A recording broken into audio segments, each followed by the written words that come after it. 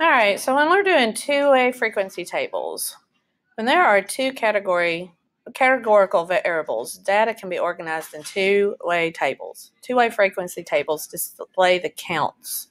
A two-way frequency table shows the frequency or count of each category.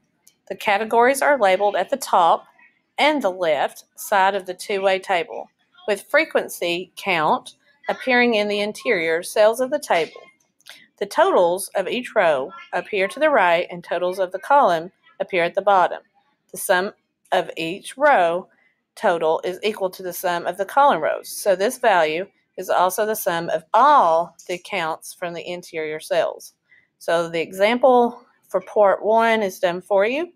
You notice that they the rows are going left to right and the columns are going up and down and they have totaled all the rows and they have totaled all the columns for a grand total of 200.